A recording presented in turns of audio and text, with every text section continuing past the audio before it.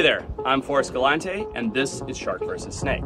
Today I'm in Exmouth, Australia with a custom-made sea snake decoy that I'll be throwing out in a tiger shark heavy area to see whether or not tiger sharks are interested in eating sea snakes.